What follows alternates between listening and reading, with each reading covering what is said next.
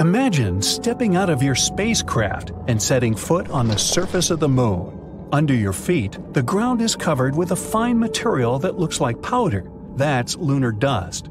You look around and take a lungful of fresh air.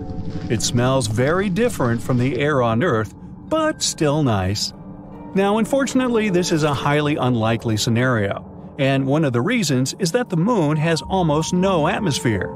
Earth's natural satellite is too small, less than 2% of our planet's mass. That's why it doesn't have a magnetic field strong enough to keep an atmosphere. But even if the moon had it, solar winds would immediately pull it away.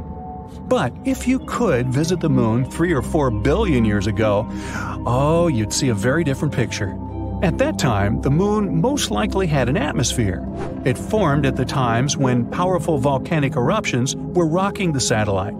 Gases spread all over the moon's surface. It happened so fast that they didn't have enough time to escape into space. At that time, the lunar surface was covered with basins filled with volcanic basalt. Just imagine ginormous plumes of magma hurling high into the air, falling to the ground, forming lava flows. That's how the basalt basins appeared on the surface of the moon. At one point, scientists on Earth got their hands on samples brought from the moon. They found out that lava flows there contained not only carbon monoxide and sulfur, but also the building blocks of water. Thanks to these samples, researchers managed to calculate the amount of gas that rose and formed the atmosphere. It became the thickest around 3.5 billion years ago and existed for about 70 million years. After that, poof, the atmosphere was lost in space. But the coolest thing? When the moon did have an atmosphere, the satellite was 3 to 10 times closer to our planet. One computer simulation even suggested the moon was probably up to 19 times closer than it is now. The distance between it and our planet could be 18,600 miles, while these days it's around 240,000 miles. That's why the moon looked much, much bigger in the sky. Unfortunately, at that time, not even dinos were around to admire the view. Hmm, neither was I. At the same time, the most recent studies have confirmed that our moon actually does have an atmosphere. It's composed mostly of hydrogen, neon, and argon, and contains some very unusual gases, like potassium and sodium. You can't find them in, let's say, the atmospheres of Mars, Venus, or Earth, Sadly, such an atmosphere isn't suitable for us oxygen dependent creatures. But guess what? There's loads of oxygen on the moon. Nah, I know, it must sound confusing, but the thing is, this oxygen isn't in its most common gaseous form. Nah, it's trapped in a layer of rock and dust covering the surface of the moon. This layer is called the regolith, and it contains up to 45% oxygen. So, does it mean that if people learned how to extract this oxygen, we would be able to live on the moon? Eh, not so fast. The oxygen in those rocks is very tightly bound into the minerals, and to break these components apart, we'd need tons of energy and special equipment. But if people managed to start this process, the moon would deliver quite a lot of oxygen. Now, there's a theory that the moon might have been formed during a collision between Earth and another planet. This planet must have been smaller, the size of Mars. It probably happened around 4.5 billion years ago. Another theory claims that the moon used to be an asteroid or some other wandering body. It formed somewhere else in the solar system. When it was passing by Earth, it got caught by our planet's gravity. Other experts think that at some point in the past, Earth was spinning so fast that some of its material broke away. It soon started to orbit our planet, and that's how the moon appeared in the sky. And the least exciting theory claims that Earth's natural satellite could simply appear along with Earth during our planet's formation. These days, the Moon is the fifth largest natural satellite in our solar system. It's also one of the densest, second only to Jupiter's satellite Io. Most likely, the Moon has a tiny core, no bigger than 2% of the satellite's mass. About 420 miles wide, it consists mostly of iron and sulfur. The Moon's surface is dark, even though Earth's natural satellite is the brightest object in the night sky. But in reality, its reflectance is just a bit higher than that of asphalt. You might have heard that the Moon, along with the Sun, causes tides in the oceans and seas on Earth. The satellite's gravitational pull creates something called the tidal force. It makes the water bulge out on the sides that are the closest to the moon and farthest from the satellite. These bulges are what we know as high tides. Look up. Find that little yellow dot. That's Titan. It's Saturn's largest moon and the second largest moon in our whole solar system. And it might be the only place in our solar system where there's liquid water, besides Earth. Plus, it has an atmosphere that serves as a shield against solar radiation and cosmic rays, just like Earth. If life was a house, Titan would have a lot of the bricks you'd need to build it. Strap in, you're heading over there. It takes a long time to get to Titan, but you know, the magic of YouTube. Here it is, a bit bigger than our moon and a whole lot heavier. It's even bigger than Mercury. That means its gravity is still pretty weak. You'll feel seven times lighter here than on Earth. At the local gym back home, you can lift 150 pounds. On Titan, you can lift more than 1,000. Ha! Looking good. The surface is mostly made up of ice. It has small mountains, craters, and a few cryovolcanoes. Basically, the same as a regular volcano, but instead of lava, this beast spits out water, ice, ammonia, and methane. There are lakes and clouds, kind of like a canyon would look like on Earth. But here, there's only a tiny difference. Everything is covered in thick fog, and sometimes it hails frozen methane. On Earth, we use methane as fuel because it burns. But on Titan, there's no oxygen. Can't get a fire going on this hunk of rock. No oxygen means you need to put on an oxygen mask, but you don't have to wear a whole spacesuit like on our moon. Titan has a stronger atmosphere. But you packed a sweatshirt, right? It's gonna get pretty cold soon, like negative 300 degrees cold. The coldest it ever got on Earth was negative 128, and that was right at the South Pole. It's so cold because it's so far from the sun, almost 900 million miles. Anyway, that dense fog and atmosphere stop the sun's rays from warming the surface. Sounds kind of extreme, but so is life. It can survive almost anywhere. Take the bacteria Dano, some long Latin word. It can survive radiation and extremely low temperatures. It even survived a whole year in outer space, on the outside of the International Space Station. Titan would be a piece of cake compared to that, especially if we drilled down a bit. Many scientists believe there's a whole ocean under the surface of Titan. Saturn's gravity gives Titan's core a little heat boost. Plus, there's ammonia in that ocean.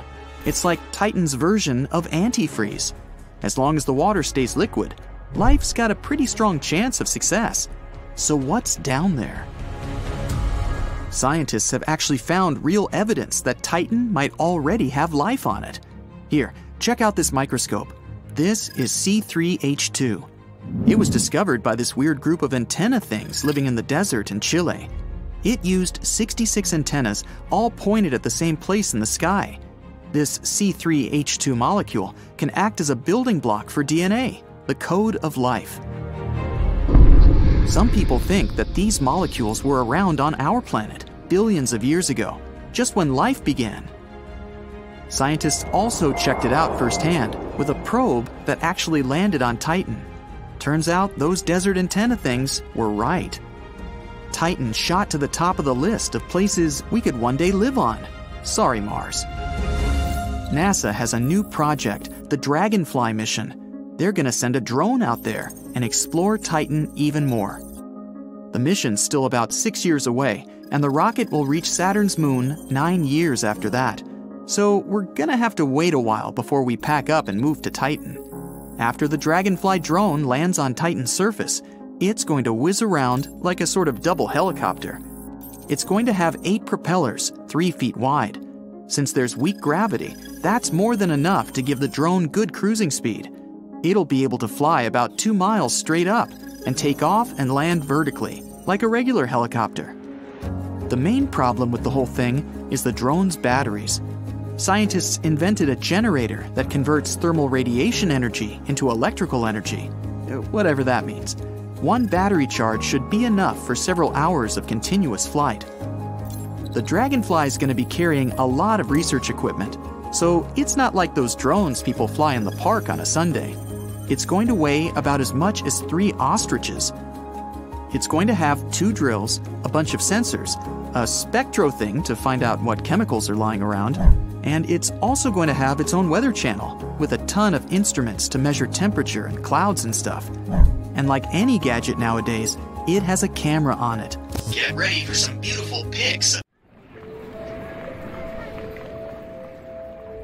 At a distance of 640 light years from the Sun, scientists discovered planet WASP 76b, where it rains iron. The planet is very close to its Sun and always turned to it in the same side. The term is tidally locked. The temperature on the sunny side is so high that metals melt and evaporate there. The other half of the planet is cool enough so that metals condense again and fall down as rain. Speaking of tidal locks, our moon is the same way. There's no dark side to our satellite, it's just always turned to us with one side. When the moon happens to be in between the Earth and the Sun, what we call its dark side becomes brightly lit. We just can't see it from our planet. Hmm, figures. A recent study claims that the moon has a tail and every month it wraps around our planet like a scarf. A slender tail made up of millions of atoms of sodium follows Earth's natural satellite, and our planet regularly travels directly through it. Meteor strikes blast these sodium atoms out of the moon's surface and further into space. You won't believe it, but the moon seems to be shrinking. Earth's natural satellite is now 150 feet smaller than it used to be hundreds of millions of years ago. The reason for this phenomenon might be the cooling of the moon's insides. It could also explain the quakes shaking the surface of our planet's natural satellite. Astronomers have recently found out that Mars is seismically active. Mars quakes occur there on a regular basis. For several days every month, the moon remains between the sun and our planet. That's when Earth's gravity picks up that sodium tail. Our planet drags it into a long stripe that wraps around its atmosphere. This lunar tail is totally harmless. It's also invisible to the human eye, 50 times dimmer than what you can perceive. But on those rare days, high powered telescopes can spot its faint yellowish glow in the sky.